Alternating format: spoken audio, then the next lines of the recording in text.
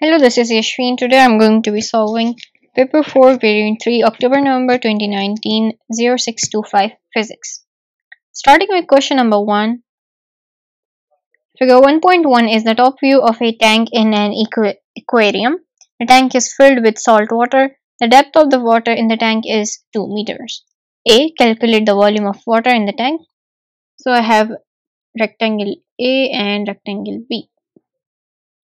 So I'll calculate the volume of the tanks by first multiplying 1 with 3.2 into the height which is 2 and then I'll add the volume of the second rectangle which is 1.1 into 1.6 into 2 and that gives the answer of volume as 9.9 meters cube B. The density of the water in the tank is 1.1 into 10 to the power of 3 kilograms per meter cube. Calculate the mass of the water in the tank. So substituting the formula of density gives the um, formula of mass as density into volume which is equal to 1.1 into 10 to the power of 3 multiplied by 9.9 .9. and that leaves with answer of mass as 1.1 into 10 to the power of 4 kilograms. C. Calculate the pressure due to the water at a level of 0.8 meter above the base of the tank. So pressure is equal to density into gravity into height which is equal to 1.1 into 10 to the power of five, uh, 3 multiplied by 10 multiplied by 1.2 and the answer is equal to 1.3 into 10 to the power of 4 pascals. Question number 2a State in words the equation that defines the, mo the moment of a force. Force multiplied by perpendicular distance.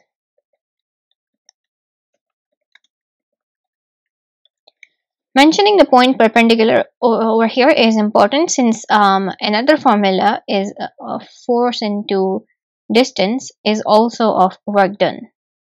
Work done also has the same formula. So perpendicular here is at the point which will score you another mark. 2. State what is meant by the uh, moment of a force.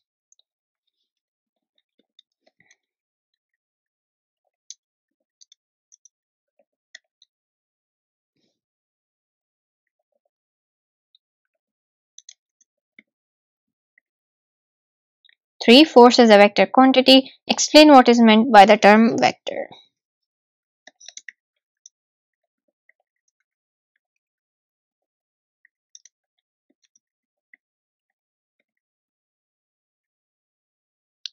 B. Figure 2.1 shows a tower crane used to lift a load on a construction site. Explain how the counterweight provides prevents the crane from toppling over. Alright, so the counterweight over here is acting as the anti-clockwise movement and that is the reason it does not topple uh, towards the right because of the weight of the load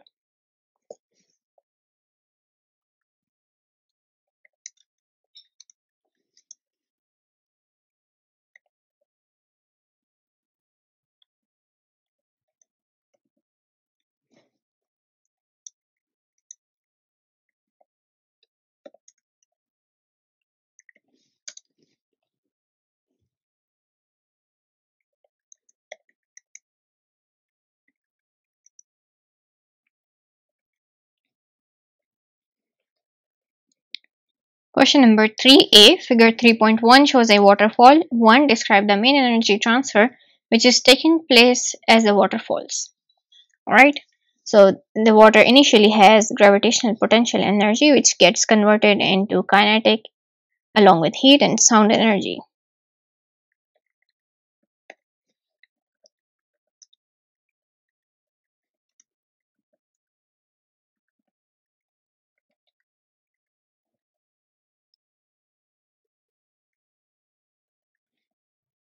2. The speed of the water as it hits the bottom is 21 meters per second.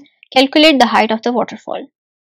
Alright, so the hint over here was given in the first part of the question.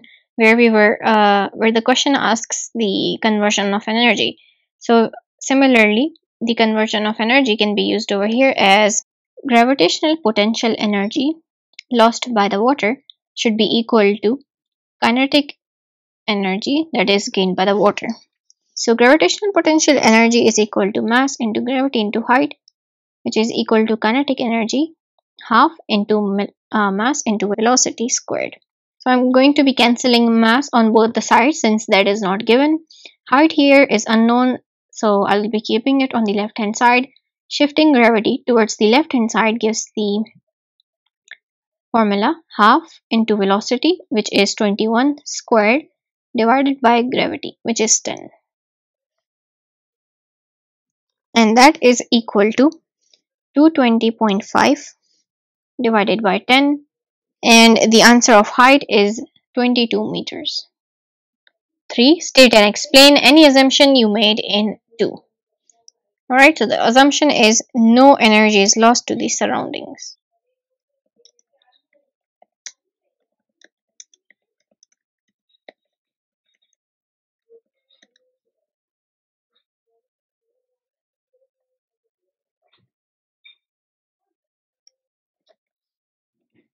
B. The sun is the source of uh, energy for most energy resources and uh, used to produce electricity. State two energy resources that have another source for their energy.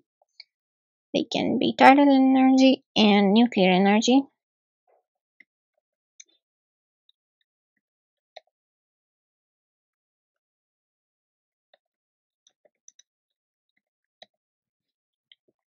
Question number 4. Solids have a fixed shape. Liquids adapt to the shape of the containers. Gases follow their container.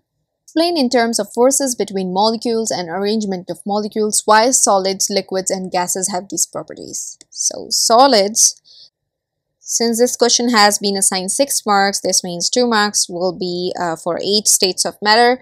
Solid molecules, they have a strong intermolecular forces along with that uh, they have um, they are fixed in their positions.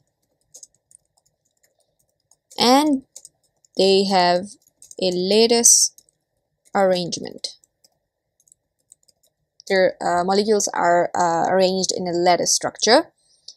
Now liquids uh, among their molecules the forces forces between forces between molecules is not as strong as into the liquids forces between liquid molecules are not as strong as of solids and they're not enough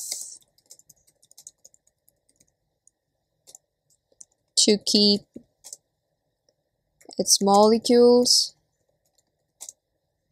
in a fixed pattern. That's one feature. Second feature is uh, there is irregular arrangement of molecules. Now coming towards gases,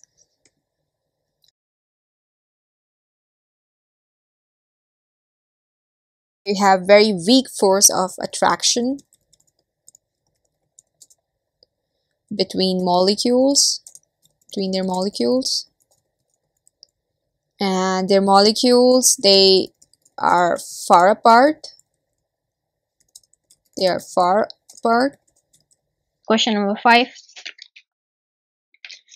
An electric kettle contains water at temperature 19 degrees celsius. The kettle has a power rating of 3 kilowatts and it is switched on for 3 minutes. A. Calculate the energy supplied to the kettle by the electric supply. Okay. So energy is equal to power into time. Power given in the question is 3000 watts. Into time, I'll convert 3.5 minutes into seconds. And this gives the answer as 6.3 into 10 to the power of 3 joules of electrical energy. B. At 3.5 minutes, the temperature of water reaches 100 degrees Celsius. The volume of the water in the kettle is 1700 centimeter cube and its density is 1 gram per centimeter cube. The specific heat capacity of the water is 4200 joules per kg degree Celsius. Calculate the thermal energy gained by the water.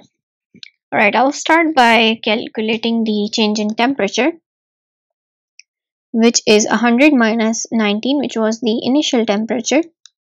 This gives the answer as 81 degrees Celsius. Alright, now I'll, uh, the formula of specific heat capacity is energy divided by mass into change in temperature and shifting the values gives the uh, formula of energy as specific heat capacity into mass into change in temperature. So mass over here is um, not given instead we are provided with the uh, volume and density so density is equal to mass over volume, which means mass is equal to density into volume. And that is equal to 1 into 1700, which is 1700 grams. Now we need to convert it into kg to um, have all of the values over here in standard units. And that is equal to 1.7 kg energy is equal to specific heat capacity into mass into change in temperature which is equal to 5.8 into 10 to the power of 5 joules. C. Calculate the efficiency of the kettle. So efficiency is equal to energy input over energy output multiplied by 100 energy input was the electrical energy which um, calculated in the earlier parts is equal to 5.8 into 10 to the power of 5 divided by the energy output which we calculated in the earlier part is 6.3 into 10 to the power of 5 and that gives the efficiency as 92%. Question number 6. Figure 6.1 represents wavefronts of a sound wave traveling in air from left to right. A state the name given to 1, a region around A in the diagram. Right, region re uh, A over here is compress compression since particles are closer together. Region B is the rarefaction.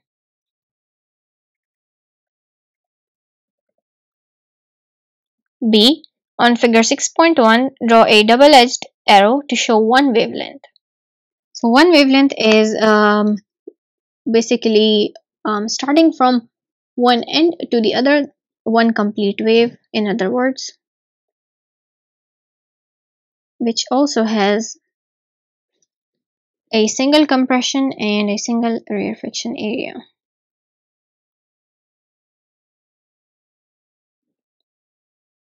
This is it. Part C, the loudness of the sound increases at the same pitch. State and explain any change there would be in pattern of wavefronts shown in figure 6.1. Okay, so loudness is linked to amplitude and pitch is linked to frequency. So with increase in loudness, we expect amplitude to increase with no change in wavelength. So I'll write amplitude increases, wavelength remains the same.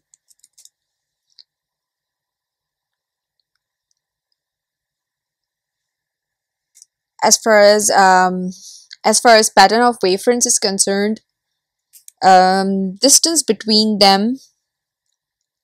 So uh, wavefronts will now get closer at compressions and they get farther they get farther at rarefactions.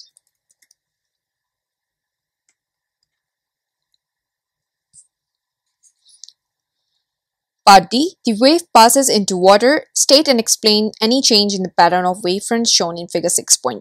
So, sound travels faster in liquids than gas because molecules are closer in liquids hence it's easier uh, hence it's easier to transmit the energy when particles are closer together so this means that um, speed is greater in water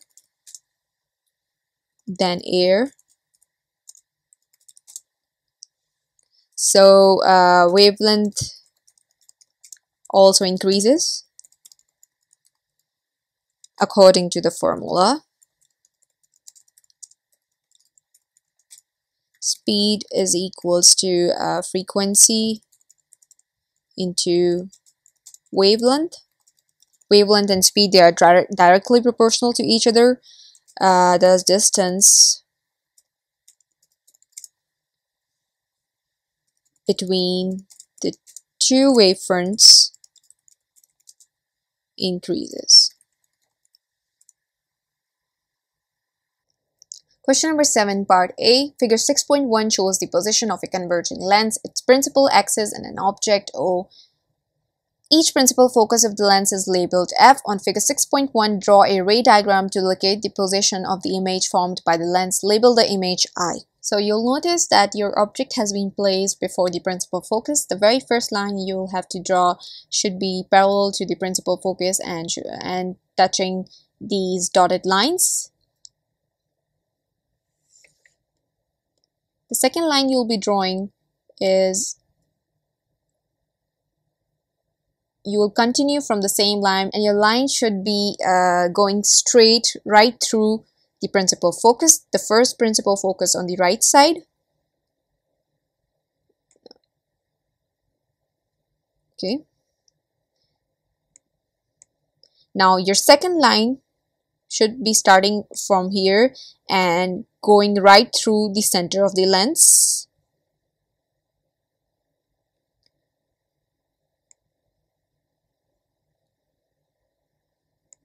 Now you'll notice that uh, none of your lines will be intersecting with each other. So let's take your lines to the left of your lens too to see if both the lines intersect with each other.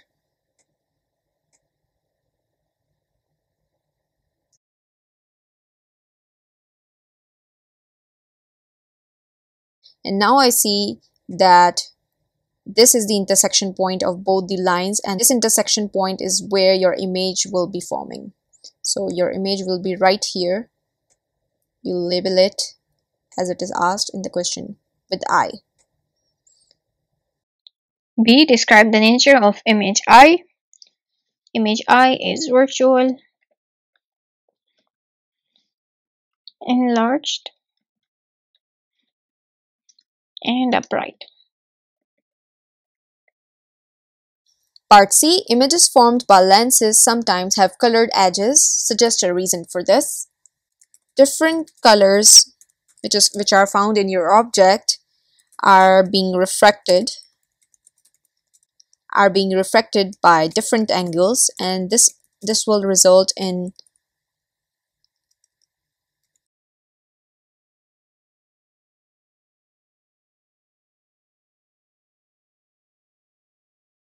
Question number 8a. Figure 8.1 shows a negatively charged conducting sphere. On 8.1, draw the electrical field pattern around the sphere. So the electrical field pattern basically shows the direction of forces acting on any positive charges around the sphere and that would be towards this sphere because um, positive and negative are opposite charges which attract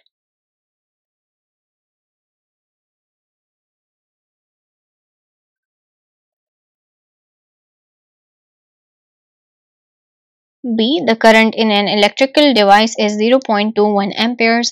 Calculate the charge that flows during a 75 period of time. Alright, so charge is equal to current into time, which is equal to 0.21 into 75 seconds, and that is equal to 16 coulombs. Question number 9. Figure 9.1 shows a circuit containing an LED and two resistors in parallel each of resistance R. Normal rotating, uh, operating voltage of the LED is 2.1 volts and the normal current is 0.19 ampere. A1. The potential difference across the LED is measured with a voltmeter. On figure 9.1, draw the symbol for this voltmeter connected to the circuit.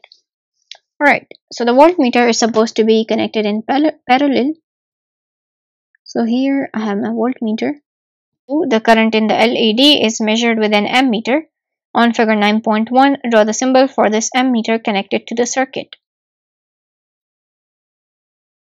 and here is my ammeter. B. Calculate the value of R when LED is operating normally. Alright, so R is equal to voltage divided by current. The voltage, uh, when LED is operating normally, its voltage is 2.1. So uh, since these are the LED is in series, the voltage for the 2R over here would be 3.7 minus 2.1 and that is equal to 1.6 volts. Now both of them, uh, both of the R would have the same value of voltage since they are in parallel. So we have the value of voltage as 1.6 volts. Proceeding towards the current, current over here is going to be the same because um, current in series is equal for all of the components. But once it reaches over here, this point, it is going to be divided between these two because in parallel the current is divided and I'm going to be dividing it by 2 because uh, they have the same uh, value of resistance and voltage. So current is going to be 0.19 divided by 2 which is equal to 0.095. Voltage is 1.6 and current is 0.095 which means resistance is equal to 1.6 over 0.095 which is equal to 17 ohms. Question number 10. A magnet and a coil are attached separately to a door and a door frame is as shown in figure 10.1. The purpose of the magnet arrangement is to activate a circuit connected to an LED indicating when the door is opening or closing. This will provide a visual indication that the door is being closed. Initially, the door is, is closed and then it is opened. 1. Explain why the indicator comes on and then goes off when the door is opened. So the answer is movement of magnetic field.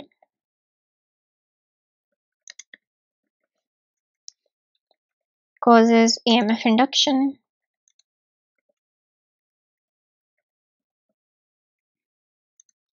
And absence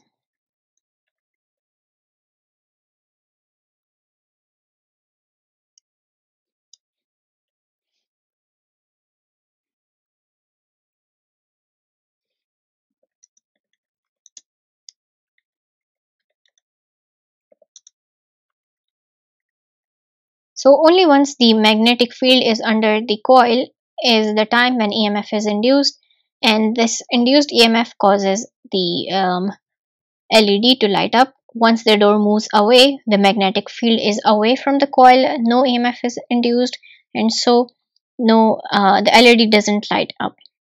2. The door shuts, the indicator comes on more brightly but for a shorter time than it did in 1. Suggest and explain why this happens. So maybe the door, door over here is being shut with greater force and that would mean a higher EMF induced but for shorter time since the force is larger it would take less time to move and get closed and that is the answer.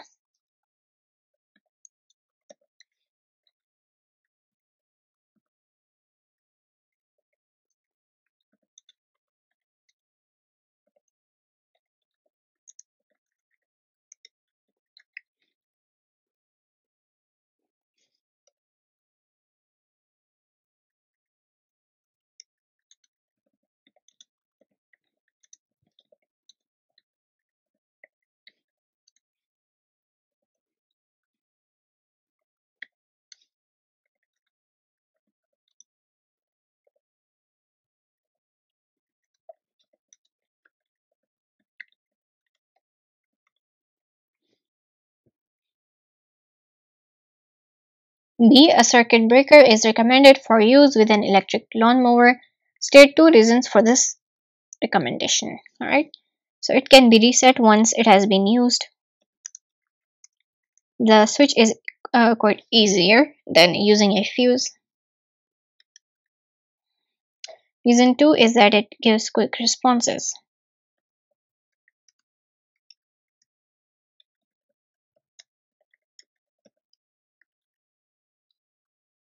11. Question number 11, part A. The circles shown in figure 11.1 represent three gold nuclei. Three alpha particles are approaching the gold nuclei. On figure 11.1, complete the path of each alpha particle. Okay, so alpha particles, they are positively charged particles and so are the and so are the three gold nuclei. Uh, the first alpha particle is coming directly towards the center of the nuclei and the alpha particle will be deflected to the left somewhere here this way. All right. Now coming to the alpha particle this particle is not aiming to hit the center of the nucleus. It is rather at some distance from the center of the nucleus. So it will not be deflected completely. Rather it will be deflected at an angle and then it will continue to go in a straight line with third alpha particle, it will be the same case. It will be deflected a bit and then it will continue to move in a straight line. Alright. A detector of radioactivity in a laboratory indicates an average of 16 counts per minute when no radioactive samples are present. So 16 count per minute over here is the background radiation. A radioactive sample of half-life 1.5 days is placed close to the detector when uh, which indicates a count of 208 counts per second. Calculate the count rate when this is uh, that is indicated 6 days later. Alright, I'll start by subtracting the background radiation from uh, this sum which is 208 minus 16 and that gives the answer as 192 counts per minute. So this is the actual radiation of the sample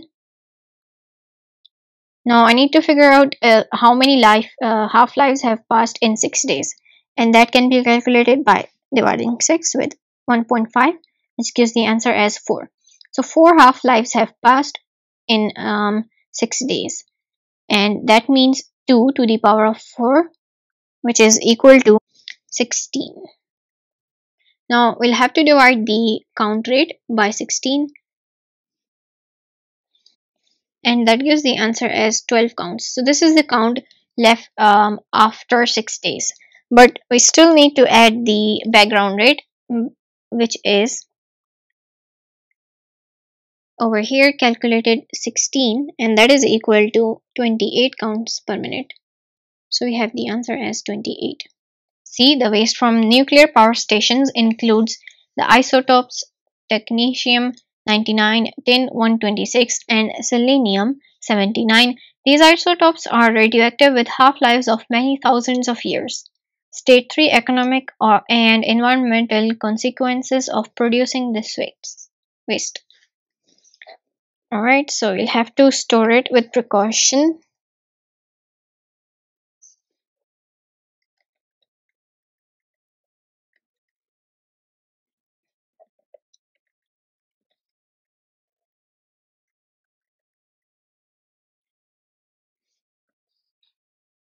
we only need to mention three points.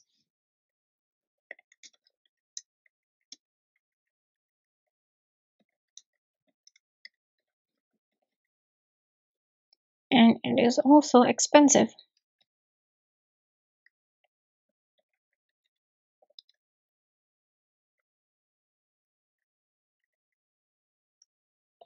Alright, we are done with this paper. Thank you for watching.